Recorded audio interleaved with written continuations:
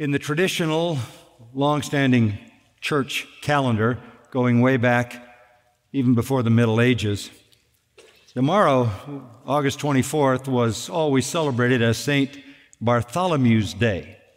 St. Bartholomew's Day.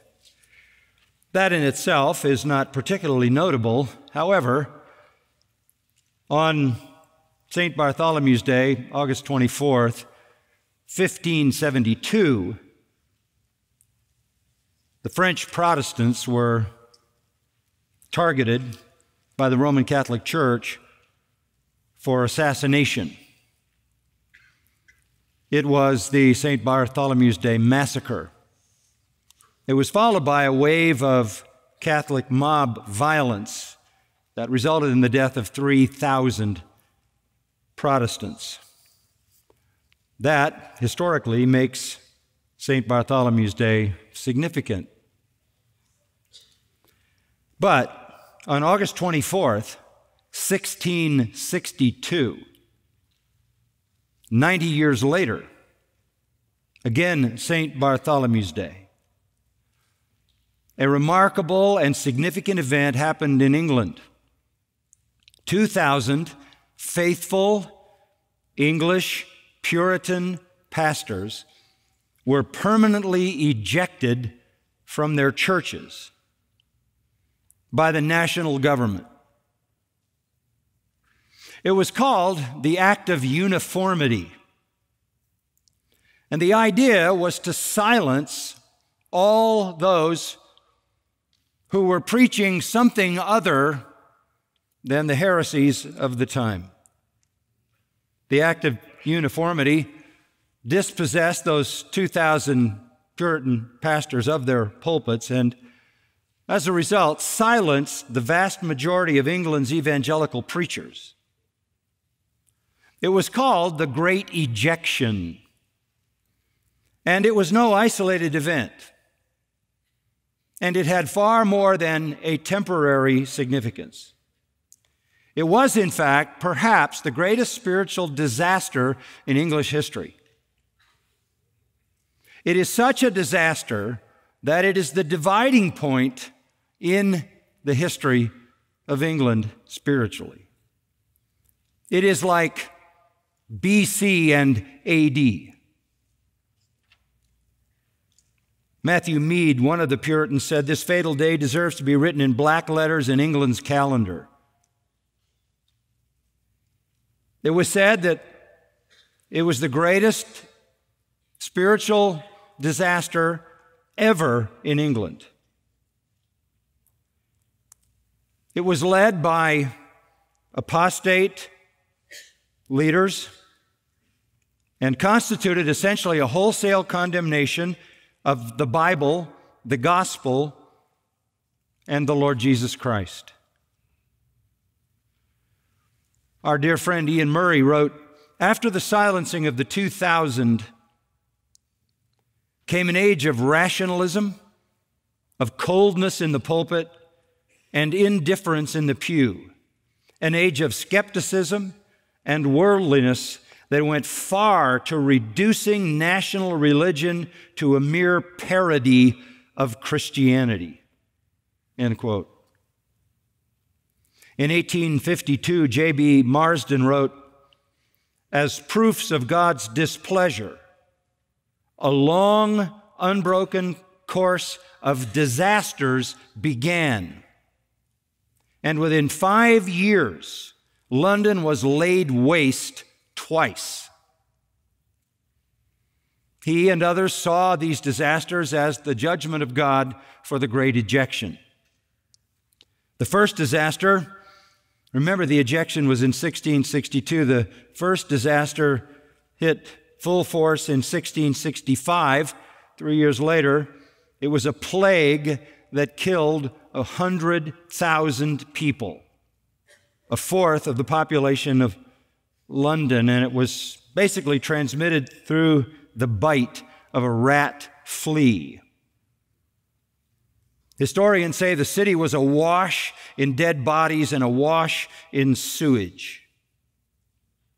Within a year, it was followed by the 1666 London fire that consumed the homes of 70 to 80,000 people and burned to the ground 90 churches.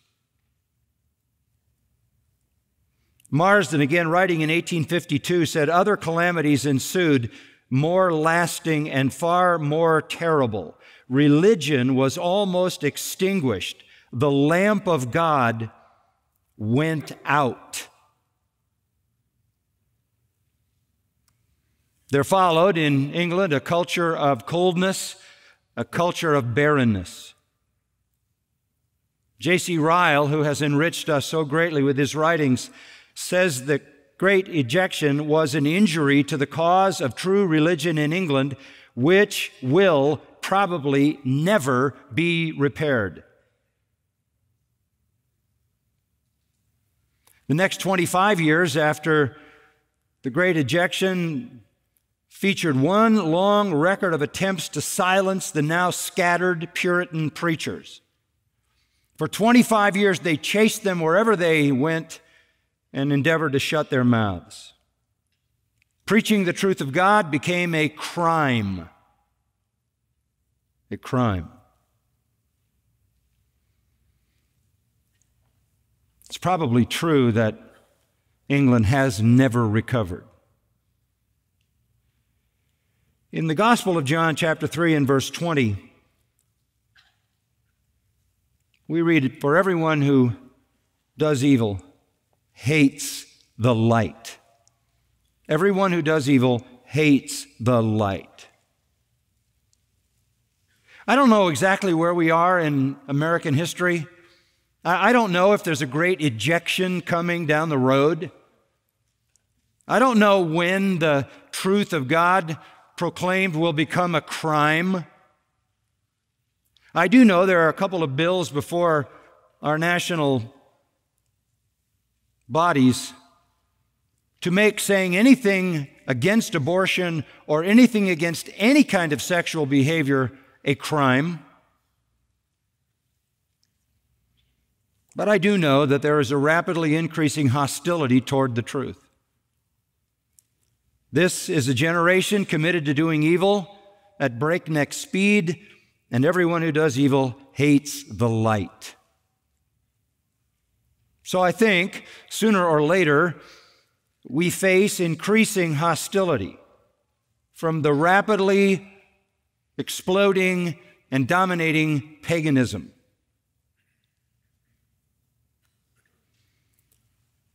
Sadly, not only were church buildings burned in England subsequent to the Great Ejection, but the church itself as I said, seemed never to recover.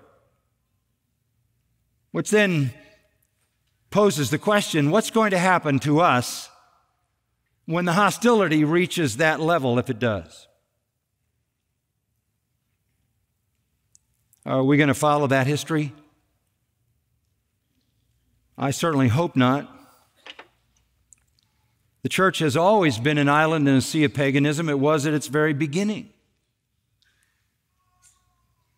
The highest ambition of the faithful servant of the Lord, William Tyndale, 1494 to 1536, calls out to us. This is what Tyndale said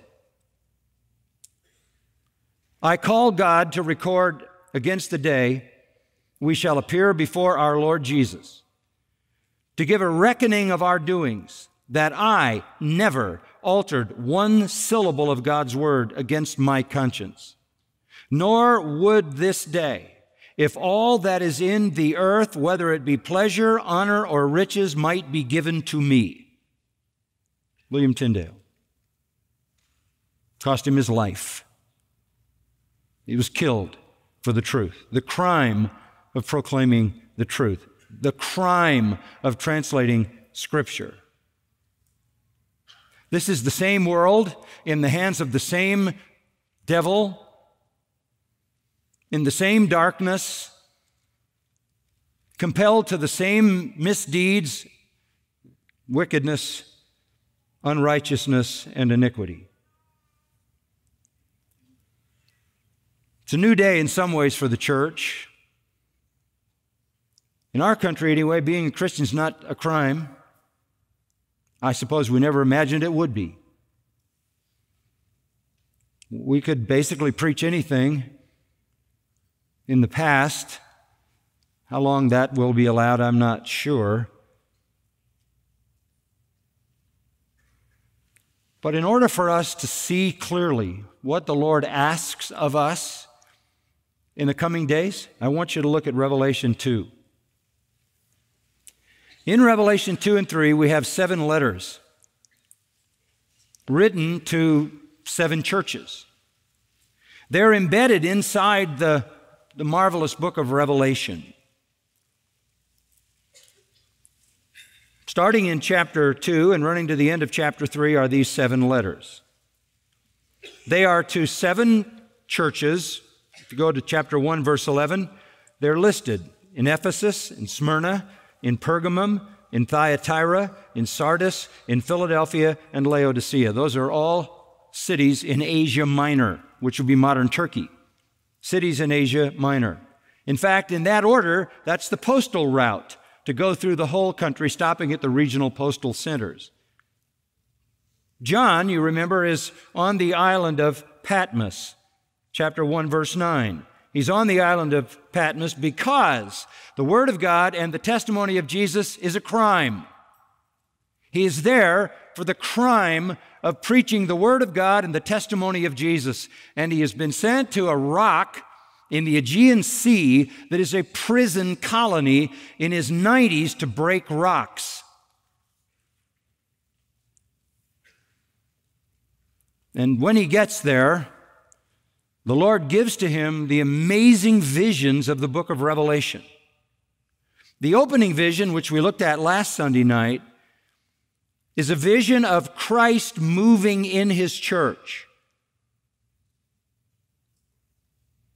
In verse 12, John hears a voice. He turns around and he looks in this vision and he sees seven golden lampstands, which verse 20 says represent the seven churches. And then there are also seven stars in the right hand of the Lord that he sees among the churches. And they are the seven messengers, the seven pastors, most likely, of those seven churches who have come to Patmos. And John will receive the book of Revelation, record the book of Revelation, copy it six more times, hand one to each of those seven men to take back to their various churches with a letter to each church embedded in the book. As we look at these seven letters from the Lord, who is described here as in the vision like a son of man, clothed in a robe reaching to the feet and girded across his chest with a golden sash. That's his priestly appearance. His head and his hair were white like white wool, like snow. That is his wisdom, his glory. His eyes were like a flame of fire. His feet were like burnished bronze. That is his omniscience. And in response to what he sees, he judges. His voice, that's his word, like the sound of many waters. And in his hand, he holds these seven ministers, these seven pastors. And out of his mouth comes a sharp two edged sword to defend his church. And his face is like the sun shining in its strength. This is a glorious picture of Christ. It's so overwhelming that John falls over like a dead man. The Lord says, Get up and write. The seven golden lampstands represent the church. The seven messengers represent the leaders of the church, the seven stars. And I'm going to give seven letters. These are actual churches in actual towns. This is not some kind of look at history. This is simply seven actual churches in seven places in Asia Minor. But they are like churches throughout all of history. There are always going to be churches like these churches. Asia Minor is pagan. They are again islands in a sea of paganism. As you read through the seven letters, you realize that they're, that they're suffering. John is suffering. Back in chapter 1, verse 9, he calls himself a fellow partaker in the tribulation. He's going through trouble. That's why he's in exile. These are churches that experience tribulation, persecution, the encroachment of worldliness, false teachers, false doctrine, compromise, coldness, indifference. These are churches like churches throughout all of church history. Two of them are faithful. Two of them, the church of Smyrna and the church of Philadelphia. The letters to them bring up no issues. They're just commended. Five of them are in severe danger Ephesus, Pergamos, Thyatira, Sardis, and Laodicea. Our Lord speaks to each of these churches, confronting the incipient danger that is creeping into the churches from the pagan culture in which they sit. These are so instructive for us. There is a kind of sequence to them as well. We'll see that as we go. But keep in mind, these are real churches, historic churches in actual cities made up of actual believers. But they are symptomatic and emblematic of churches perennially throughout history. Some of them are just uniquely good and sound and faithful but that's the exception. Most of them are a mixture of good and evil. And as we go, as they move away from Ephesus, they seem to go in a descending way. They get worse. We learn the dangers that we face in a hostile world. Let's read about the first one, the opening of chapter 2 verse 1 to 7. To the angel or the angelos, the messenger, the pastor of the church in Ephesus, write The one who holds the seven stars in his right hand, the one who walks among the seven golden lampstands, says this Who is that? That's the Lord Jesus Christ, the Son of Man, pictured in the vision in chapter 1. The Lord is the speaker, it is Him speaking to the church.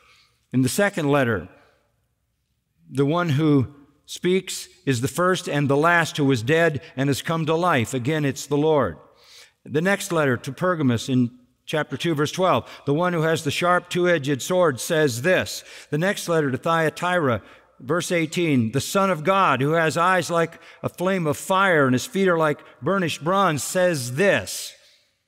And, and chapter 3, to the messenger of Sardis, the one who has the seven spirits of God, the seven stars, says this. And to Philadelphia in 3 7, the one who has the key of David, who opens and no one will shut, who shuts and no one opens.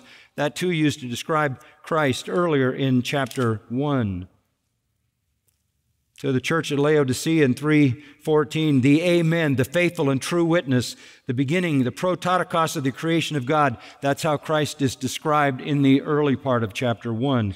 In each case, Christ is speaking to his church. So we said last week, chapter 1 is Christ working in his church, the work of Christ in his church. Here is the word of Christ to his church. Now, this is a church in Ephesus. In Ephesus. Some of you may have, the, uh, have had the opportunity to go to what is now in Turkey called Kusadasi, which is ancient Ephesus, and the ruins are still incredibly remarkable there in that city. It is one of the great ruins, uh, really anywhere on the planet. Amazing experience to be there.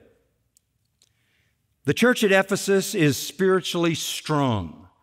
The church at Ephesus is founded well, um, taught by the best possible leaders, the best possible preachers and teachers. Let me give you a little background.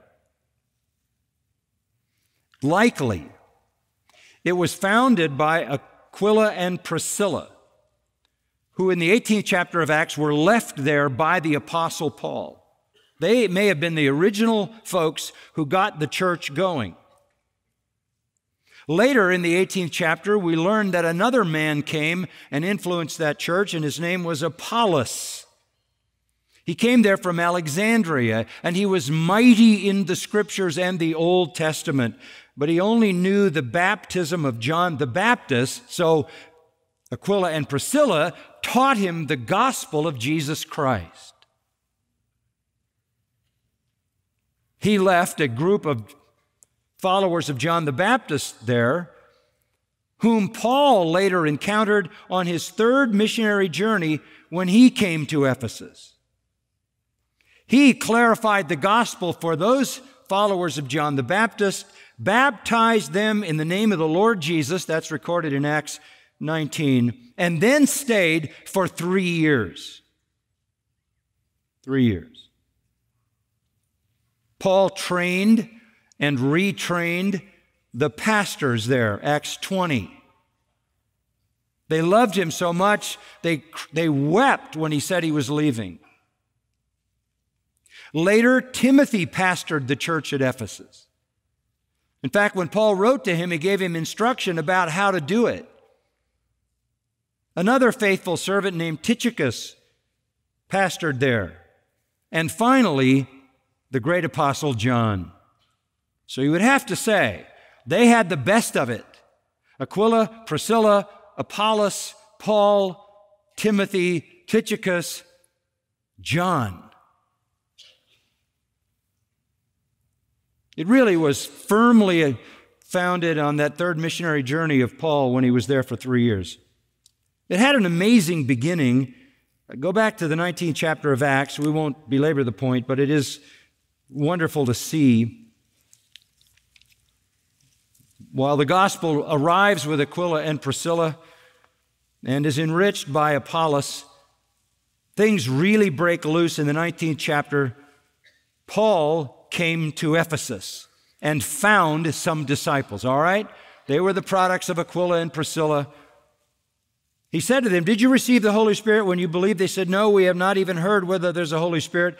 And they were all connected still to John the Baptist, as I said a moment ago. He tells them the truth of the gospel. They believe, they're baptized, and in a sense, the church is born. Verse 8 He entered the synagogue and continued speaking out boldly for three months, reasoning and persuading them about the kingdom of God. But when some were becoming hardened and disobedient, speaking evil of the way before the people, he withdrew from them and took away the disciples' reasoning daily in the school of Tyrannus. This took place for two years, so that all who lived in Asia heard the word of the Lord, both Jews and Greeks. It went all over Asia Minor. That's how it got to the other cities. It was the planting of the church in Ephesus that launched into those other cities. Verse 11 God was performing extraordinary miracles by the hands of Paul Really extraordinary. Handkerchiefs or aprons were carried from the, his body to the sick, and the diseases left him, and evil spirits went out. Some of the Jewish exorcists who went from place to place attempting to name over those who had the evil spirits the name of the Lord Jesus, saying, I adjure you by Jesus whom Paul preaches. In other words, uh, some of the false uh, exorcists were trying to take advantage of Paul's name. Didn't work seven sons of one Sceva, Jewish chief priest, were doing this, and the evil spirit answered and said to them, I recognize Jesus and I know about Paul, but who are you? And the man in whom was the evil spirit leaped on them and subdued all of them and overpowered them so that they fled out of the house naked and wounded. Bad day for the false exorcists. This became known to everyone, Jews and Greeks who lived in Ephesus. Fear fell on all of them. The name of the Lord Jesus was being magnified. Many of those who had believed kept coming, confessing, disclosing their practices, and many of those who practiced magic brought their books together and began burning them in the sight of everyone. And they counted up the price of them and found it 50,000 pieces of silver. So the word of the Lord was growing mightily and prevailing. What an amazing beginning for a church, right? Talk about church planting.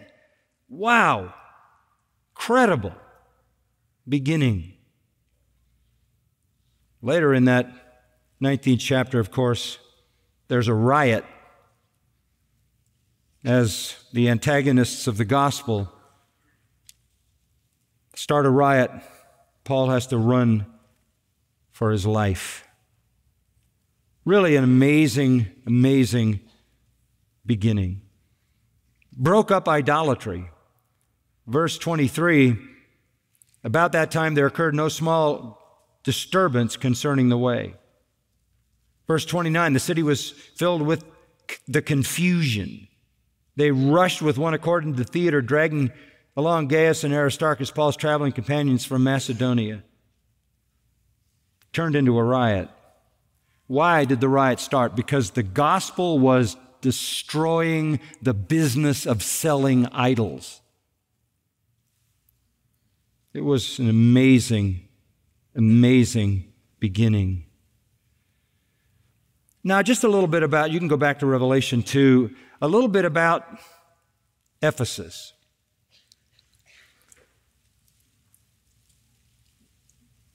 Ephesus was the place where John lived, I think about 60 miles from where he was on Patmos.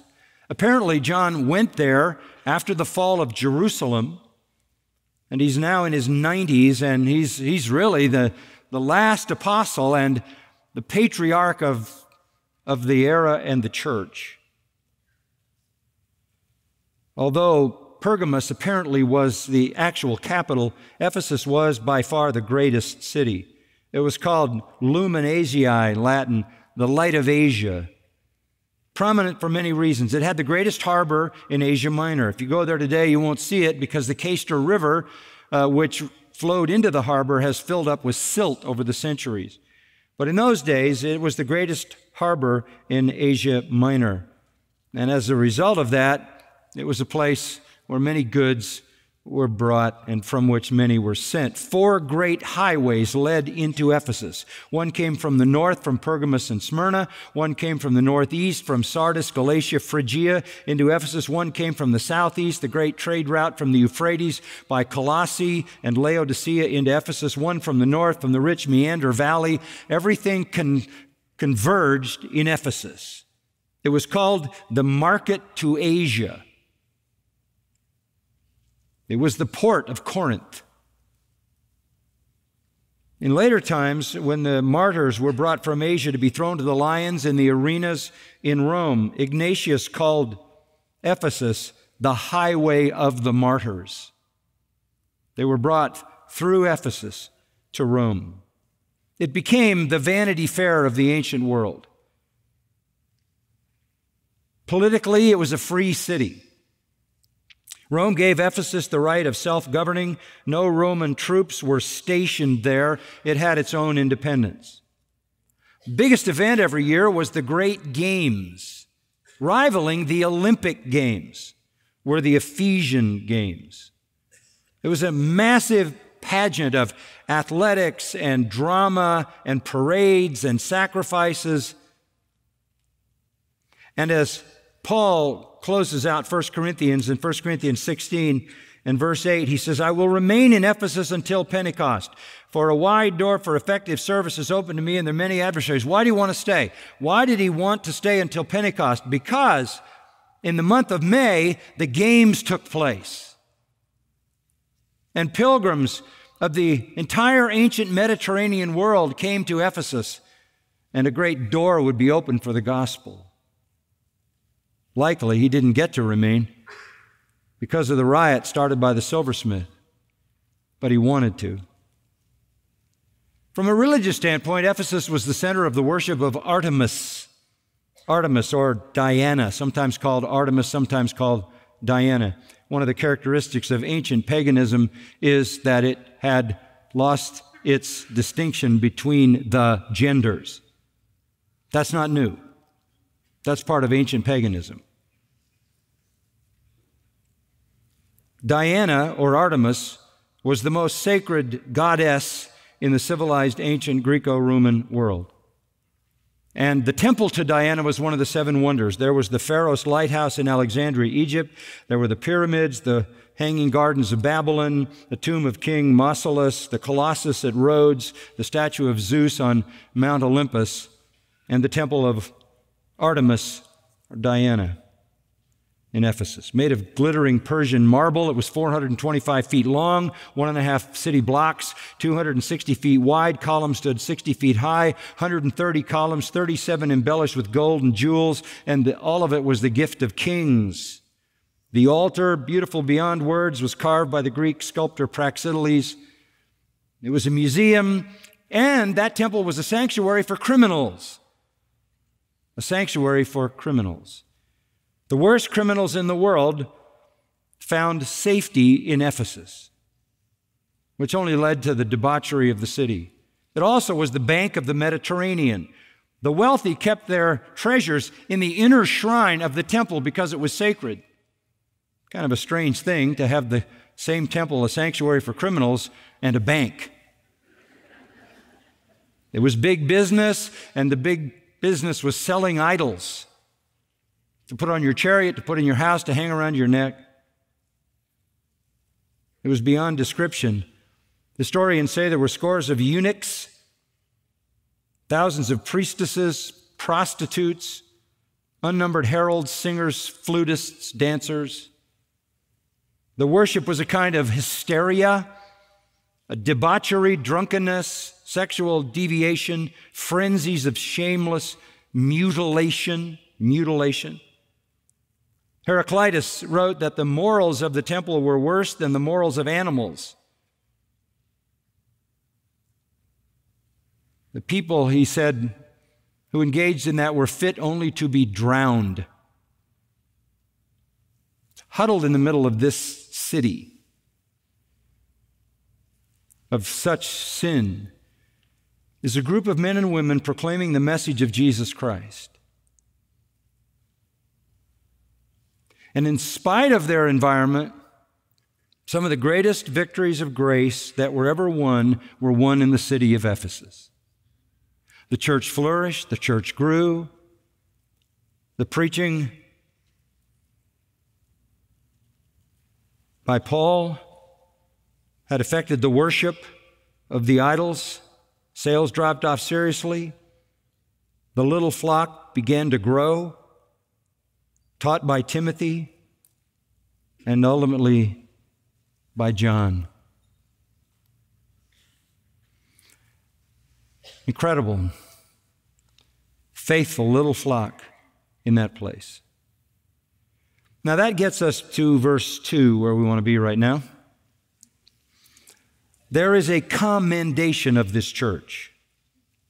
And if they, if they if they have anything that can be said good about them, it's, it's marvelous. Because remember this all the people who were converted there were converted out of that culture, out of that dominating culture.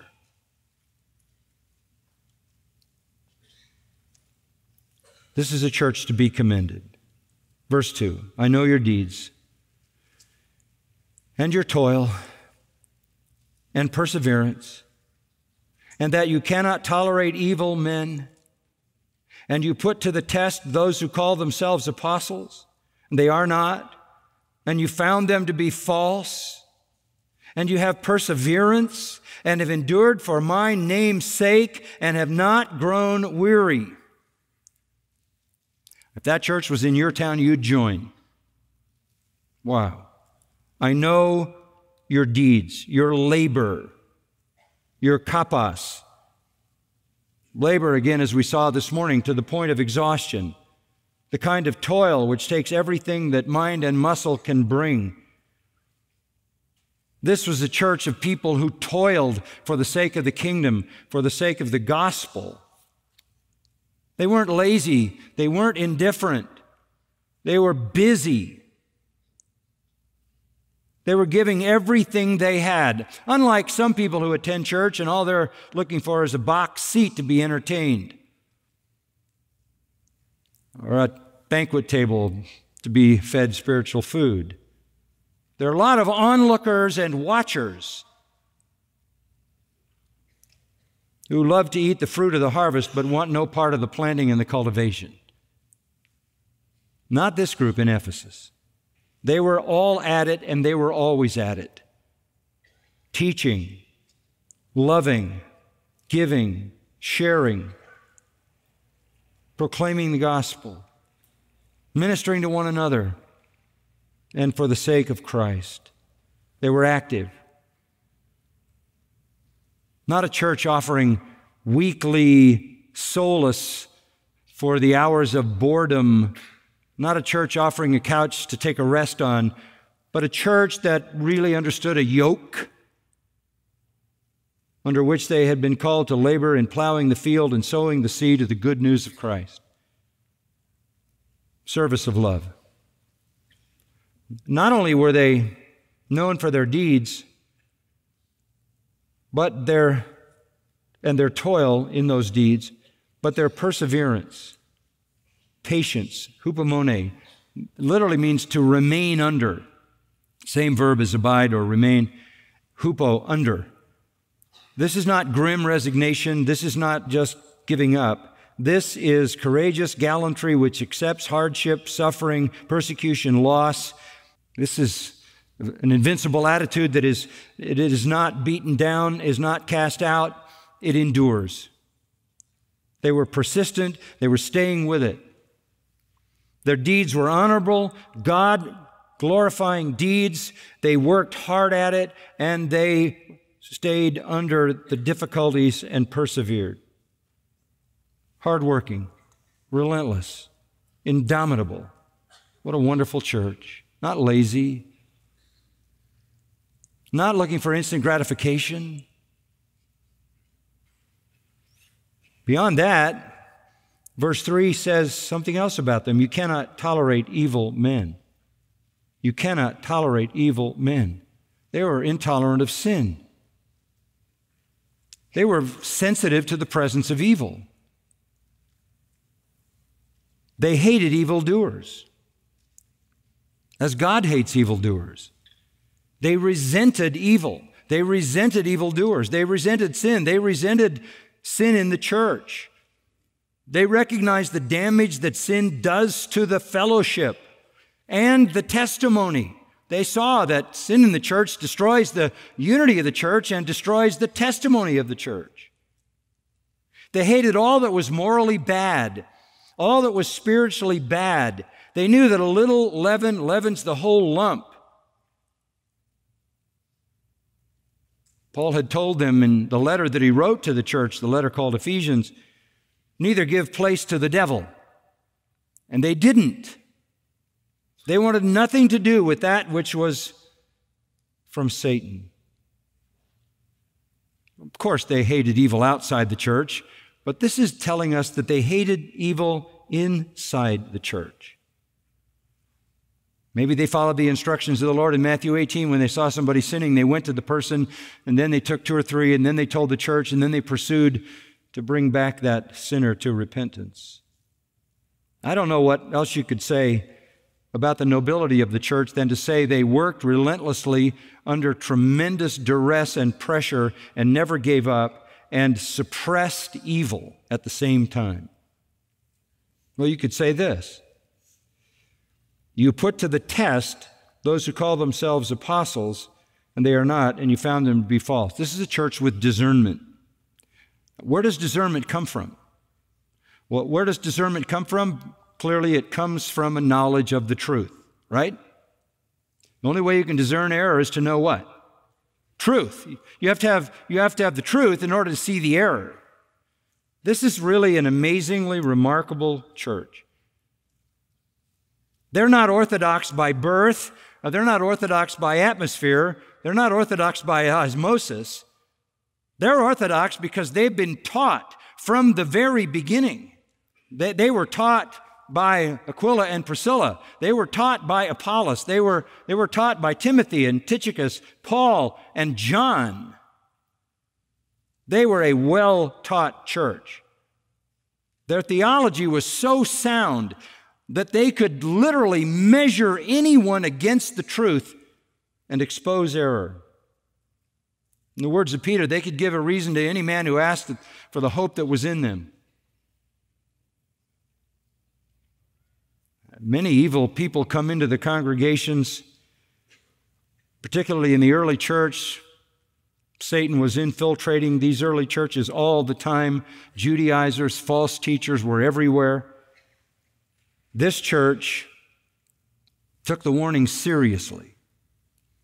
Apostle Paul actually said to them in, in Acts 20, after my departure, after my departure, grievous wolves are going to come in, not sparing the flock. And of your own selves, perverse men are going to rise up and lead you astray. And he warned them. And you remember it says in Acts 20 that he committed them to the word of God, which is able to build you up. That was in his farewell address, Acts 20, 28 and following. When evil men of all types and all kinds, emissaries of false teaching, whatever it was, moved into the church at Ephesus, they were exposed. They were tested and failed the test. The only ones who were welcomed into that church were those who were faithful to the teaching of the Word of God. Verse 6 says, in particular, that they hated the deeds of the Nicolaitans, a heretical group which God and Christ also hate. Amazing group, hardworking, persevering, intolerant of sin, knowledgeable in theology and truth so as to be able to discern true teachers and false teachers. And they did it all. Look at verse 3 persevering, enduring for my name's sake. Oh, that's, that's the epitome, isn't it? They did it for the honor of their Lord. They had amazing powers of endurance. They were spiritual marathoners. He already said perseverance and toil in verse 2. Now he says perseverance again and adds, have endured. But the key is for my name's sake and have not grown weary. Sure, disappointments come, criticism comes, rebellion comes, struggles come. They never grew weary, hardworking, persevering, enduring, undaunted. Amazing group. And they did it all for my name's sake. They did it for Christ. They did it for Christ. Supreme motive, for the sake of the name, for the sake of the name. Paul went out to preach the gospel, Romans 1, for the sake of the name. John, in his epistle, talks about those who went out to preach for the sake of the name. There were no personal ambitious agendas. And then in verse 6, just to comment on that, specifically, they stood against the error of the Nicolaitans. Who were they? A little hard to be certain about it. Um, it's from the same Greek word as overcomers, conquerors.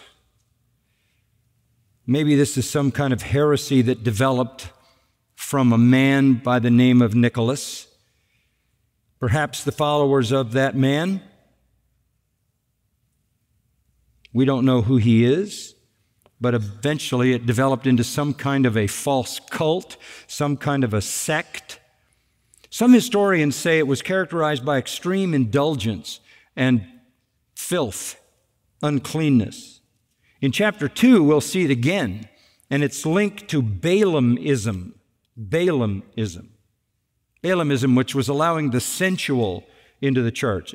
Some kind of false cult, some kind of false, corrupt, heretical movement. And they hated it. They took the Lord's side on that. I think it was Clement of Alexandria who once said about the Nicolaitans they abandoned themselves to pleasure like goats, leading a life of self indulgence. It has been associated with loose living, immorality, perversion, maybe in the name of grace, maybe a kind of libertine license, but they rightly hated it. You know, for all intents and purposes, you would say this is a great, great church. But, verse 4, we go from the commendation to the condemnation. I have this against you. I have this against you that you have left your first love. Unmistakable. You have left your first love. What, what, what do you mean by that? The flaming love that you had for Christ the day you were delivered from the kingdom of darkness. The burning heart that you had, like those on the road to Emmaus, when the scripture and the truth dawned on you and you saw the significance of his death and resurrection. The day when you realized that you had been delivered from the world. The day when you felt like Peter Lord, you know I love you. You know I love you. You know I love you, as he said three times in John 21. Those early days of hot hearts, passionate labor,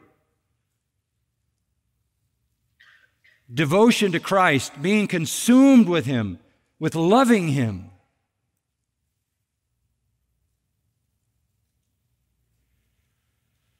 was becoming replaced by a kind of dutiful, doctrinal coldness. The heat of that first love was gone.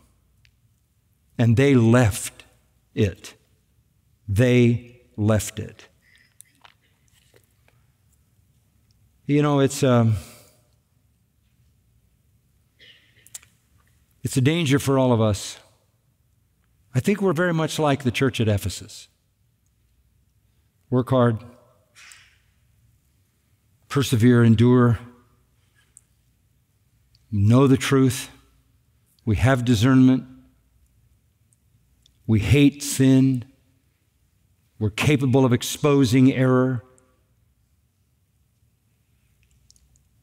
But the danger for us is to leave first love. This really comes out of Jeremiah 2.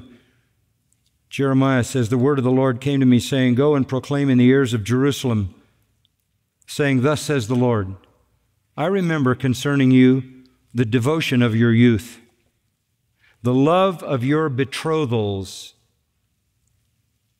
I remember that. You're following after me in the wilderness through a land not sown. You would follow me anywhere. I remember, says God, the love of your betrothals. I remember that. Well, Jeremiah goes on to say, You've long ago left that. And that is the message that the Lord of the church gives to the church at Ephesus. The honeymoon is over. Love for Christ has cooled, and this is very dangerous. The cooling of love for Christ is the forerunner of spiritual apathy. Apathy is the forerunner of love for something else. Love for something else means love for not for Christ, but for something else. And that means compromise with evil, and that means corruption, and that means death, and that means judgment. And that's the sequence of going from Ephesus to Pergamos to Thyatira to Sardis to Laodicea. You eventually become a church the Lord spits out of his mouth.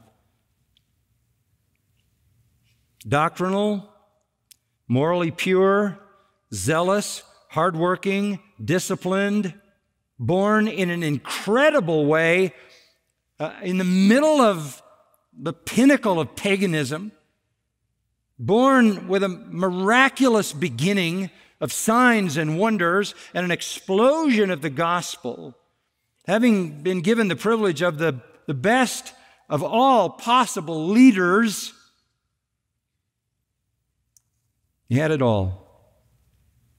You still come, you still work, you still give, you still believe, you still sing, you still hold to the truth, but I know you don't love me like you did. You don't love me like you did. The supreme motive. When the heart grows cold, you're in danger. How serious is this? Verse 5 the Lord says, Therefore, remember from where you have fallen. Remember from where you have fallen. What about you? Can you take it or leave it coming to church? You take it or leave it reading the scripture? You believe the right things? Uh, are they as precious to you as they once were when you came bursting out of darkness into light? When you were delivered from sin and death and hell? Or have you grown cold? Start by remembering. Go back. Remember how it was when you were truly converted. Remember from where you have fallen. Go back and remember the glorious experience that was yours when you came to Christ. And then repent. Remember, repent. And then do the deeds you did at first. Do you know how you restore the love? By going back and doing what you did at the beginning.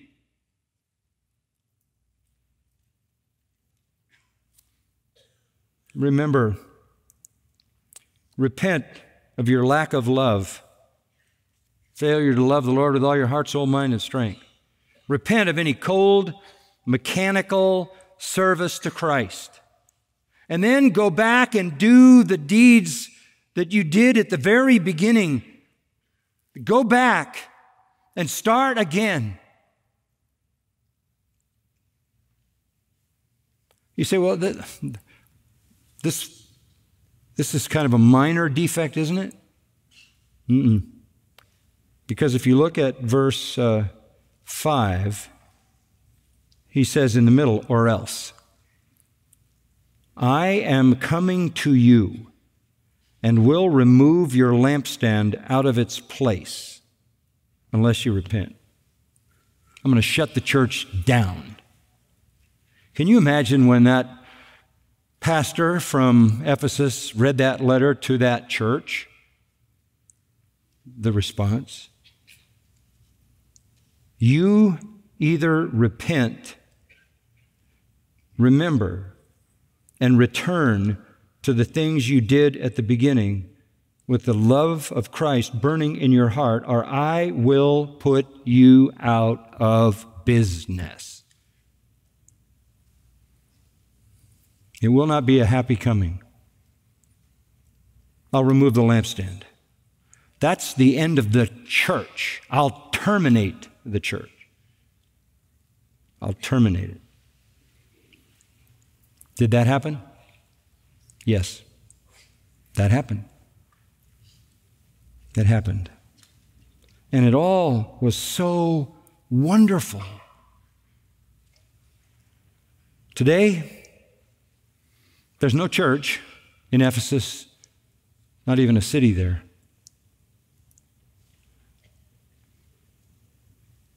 Some final counsel in verse 7 for all of us, he who has an ear, let him hear what the Spirit says to the churches. Another way of saying, Are you listening? Are you listening? Everybody listen to what I just said. This transcends that church, that real church in a real place at that time, this transcends to all of you who hear this. Listen, listen. For all Christians, for all churches, for all time, understand the danger of leaving your first love and finding your exhilarating passion in something else other than Christ and His kingdom. then a promise. To him who overcomes, that term overcomes comes from 1 John chapter 5 verse 4. Whoever is born of God overcomes the world. And this is the victory that has overcome the world, our faith. Who is the one who overcomes the world? But he who believes that Jesus Christ is the Son of God. To you, overcomers, the call to faithfulness. To you, overcomers, I will grant to eat of the tree of life which is in the paradise of God. That's a picture of heaven. Eden was the created paradise of God on earth, Genesis 2 and 3. Heaven is the paradise of God above, Revelation 22. To him who overcomes, to the true believer, the faithful believer, I promise you heaven. Why does he say that? Because if you're there and you're a faithful believer, a true believer, and the Lord puts your church out of existence, you could conclude, I'm done. I'm doomed. But no. To the overcomer, even in a church that has left its first love, I promise you heaven. I promise you heaven. As we'll see when we go through the other letters, this is where the slide starts with leaving that first love. Even those of us who are believers, who will experience the tree of life in the paradise of God, as it's described in Revelation 22 in heaven, need to make sure that we do not leave our first love. If I can borrow from this morning, is this saying that there were people in the church at Ephesus who actually failed to abide in Christ and walked away?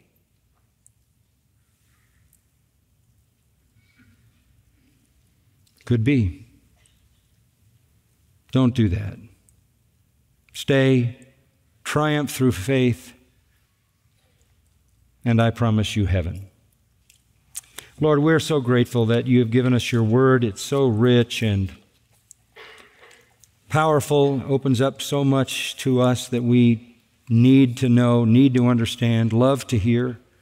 But at the same time, Lord, with all of its wonders, all of its beauties, it is very convicting. Deliver us, Lord, from the loss of first love.